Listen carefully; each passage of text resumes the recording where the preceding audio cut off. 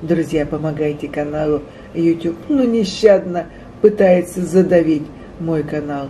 Помогайте каналу. Я жду вашей помощи, такой же щедрой, как и ваша душа.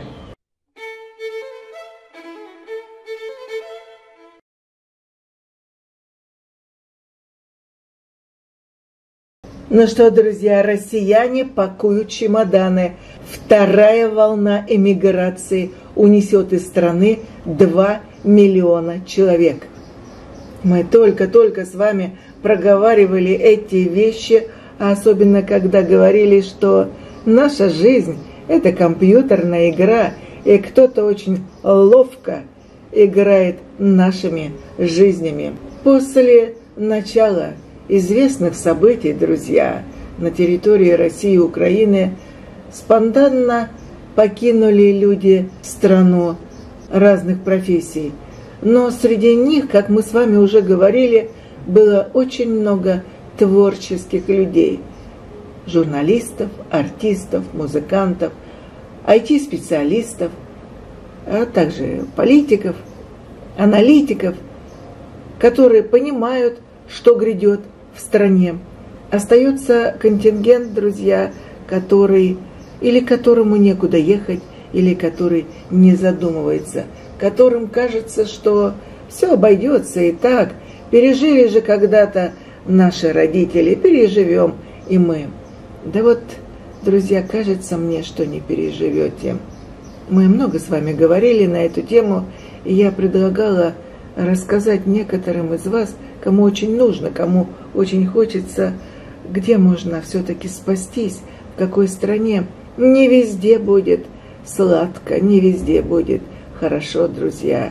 Некоторые страны тоже подвергнутся разным физическим воздействиям. И да, друзья, в общем, мы пока не будем на эту тему говорить. Это я сделаю какое-то еще очередное предсказание, расскажу вам, что ожидает весь мир в ближайшее время, хотя я только что сделала предсказание на 20 лет вперед.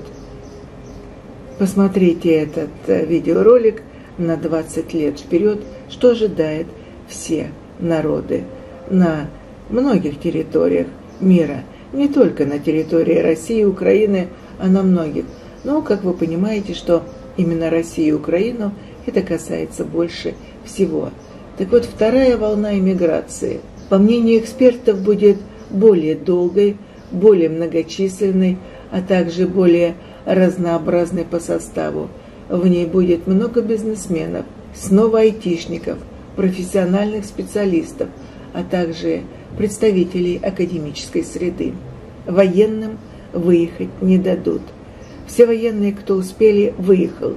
Больше никому выехать не дадут генералов стали косить, как... Эм, ну да, смерть пришла и косит косой. Это генеральский состав. Никому не позволят выехать из генеральского состава. Много о чем сообщается в СМИ, но многие вещи замалчиваются, умалчиваются, и вы их просто не знаете. Сколько генералов погибло? Вот, допустим, Путин месяц назад – назначил новых 18 генералов в одном месте, в одной среде силовиков, и в другой среде также 18. Значит, прежние 36 генералов куда-то делись. Мы мало что знаем. Мы знаем, что погибло вроде бы там 9 генералов. Ну и все. Обо всем мы не знаем.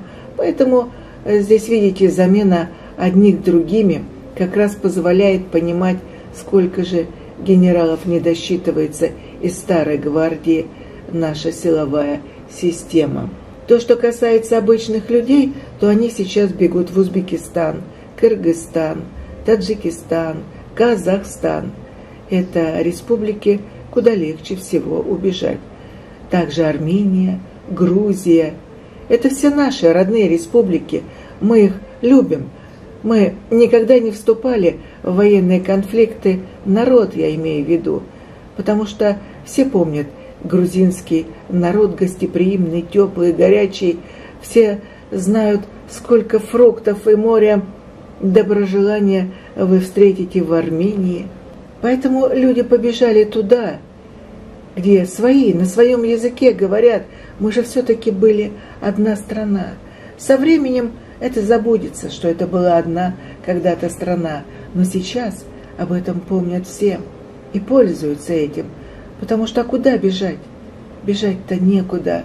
И то, что в Узбекистане сейчас 82 тысячи семей купили квартиры или арендовали, и так, и так, то это говорит о многом, друзья. И, конечно, квартиры сразу подскакивают в цене в тех э, республиках, куда убегает русский народ. Многие из тех, кто уехал в первые дни и недели, в основном в безвизовые страны, такие как Армения, Грузия, Казахстан и Турция, друзья, столкнулись со сложностями. Нужно найти жилье, работу, школу для детей, способ перевести деньги из России, где поначалу ввели жесткие ограничения на такие операции, как вы помните, решить вопрос, что делать с оставшимися в России квартирой, вещами, возможными накоплениями.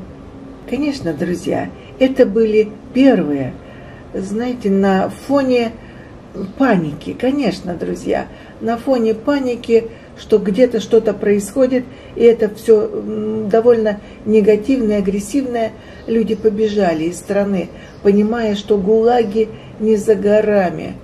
Они побежали, понимая, что Берия и Сталин и их э, методы совсем близко подкрались вот уже почти к горлу, и люди снова побежали.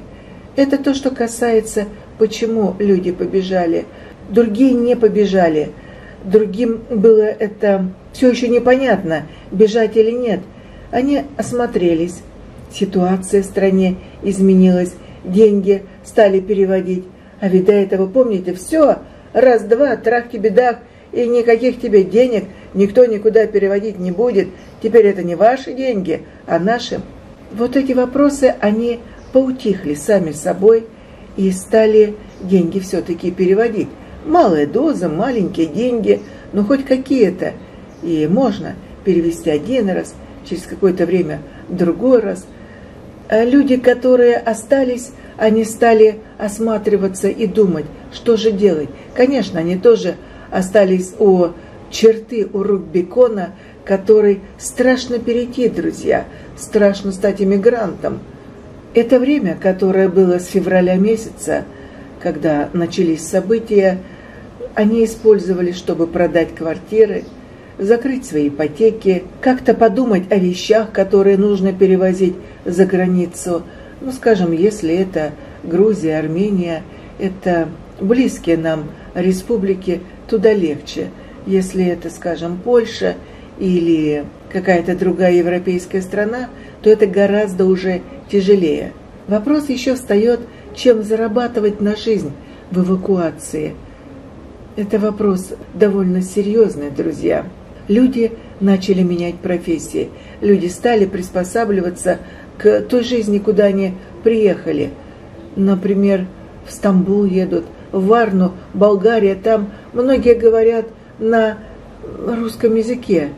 София, Белград, наиболее близкой, знаете, морально, психологическим является атмосфера в Тбилиси. Знаете, горный воздух, не знаю что, горный воздух или просто достойное воспитание, хорошие продукты, но там живут свободные люди, уважающие себя. Страна считается свободной, хоть и не такой богатой, но именно в Грузии живут свободные, достойные люди. У них богатое культурное наследие. Они почитают старые традиции, почитают своих стариков, уважают стариков, питаются очень много травой. Ведь э, на Кавказе, друзья, травы очень много, зелени много в питании. Не только один барашка, барашка, барашка. Нет, друзья, любят очень много сыры и овощи. Поэтому Грузия и сам народ очень гостеприимные.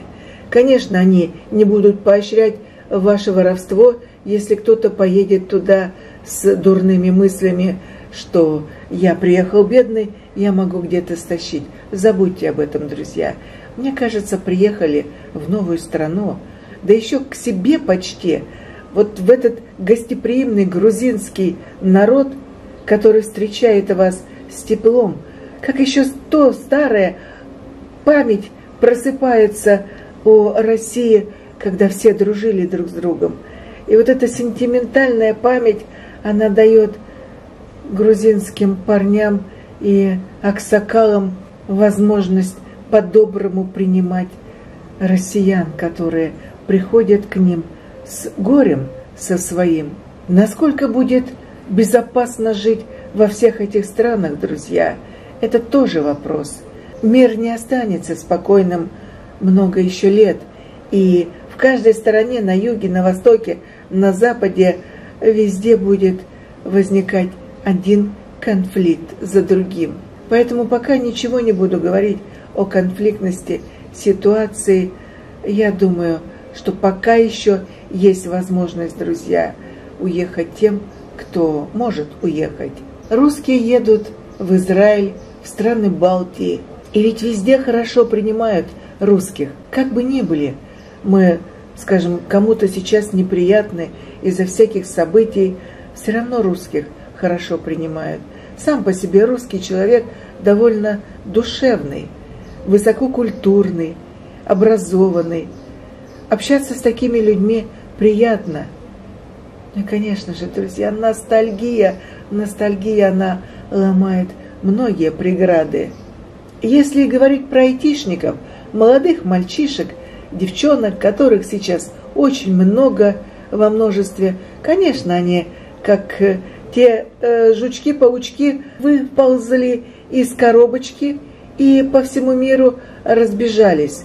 И правильно, ведь каждый думает о своей семье и о том, где ему будет хорошо житься. Зачем жить там, где заранее планируют голод и разруху?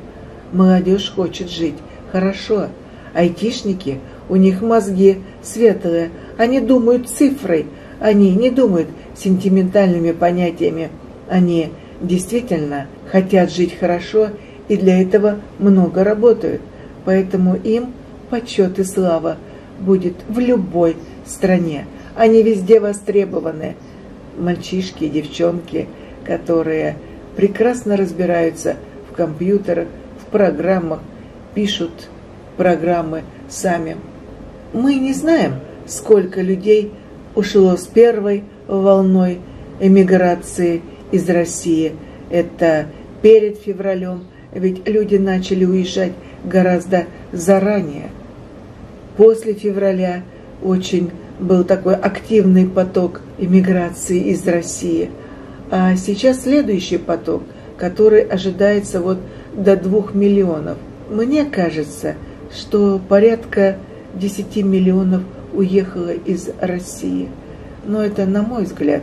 Я не знаю, я не считала. Я примерно понимаю, что сегодня есть в России, и до 10 миллионов уже уехало. Сейчас еще ожидается волна из 2 миллионов. И также, друзья, бизнес переходит из э, России в соседние республики. Например, релокация бизнеса из России в Казахстан. И Такаев приветствует, президент Казахстана приветствует релокацию бизнеса из России в Казахстан. Я думаю, это многим на руку сыграет соседним республикам. Также на Кипр переводят свой бизнес. Да перевели уже давно многие. Остались остатки, которые сейчас могут бросить все в России, взять какие-то деньги, переехать в другую страну и открыть там тот же самый бизнес. В Великобританию уехали, во Францию, во многие страны уезжают русские, русских везде сейчас много. Куда ни пойди, куда ни глянь, русская речь. Я уже не беру Израиль. Израиль – это та страна, которая всегда широко и с объятиями принимала, но людей, конечно, только еврейской национальности. Здесь понятно, друзья, они свою страну берегут. Еще есть такая форма, когда муж первый уезжает за границу для того, чтобы обустроиться там, освоиться, снять квартиру, начать бизнес, каким-то образом все-таки встать на ноги там, за границей, с документами понять, какая ситуация, а потом вывозить семью. Вот здесь, друзья, не прогадайте, пока это возможно, пока еще границы открыты. Но здесь вы можете просто потерять семью, то есть вы не пересидите за границей и не пытайтесь все-таки полностью все наладить, потому что вы семью можете уже не вывести в любой момент. Железный занавес может закрыться, и семья ваша останется там. Хотелось бы пожелать всем нам, друзья, все-таки мирного неба над головой и переселения народов, чтобы не было так мучительно, потому что сейчас идет самое настоящее переселение народов. Если, как я вам сказала, порядка 10 миллионов уехало из России, ну пусть не 10, пусть 5 миллионов, друзья, уехали из России. Это миграция. Это миграция народов по миру. Конечно, это эмиграция, но миграция – это передвижение народов по миру. Вы помните гражданская война, 20-е годы, 20 века, а сейчас 20-е годы 21 века. И опять-таки то самое белое движение, которое в панике бежало все, бросая абсолютно все в России.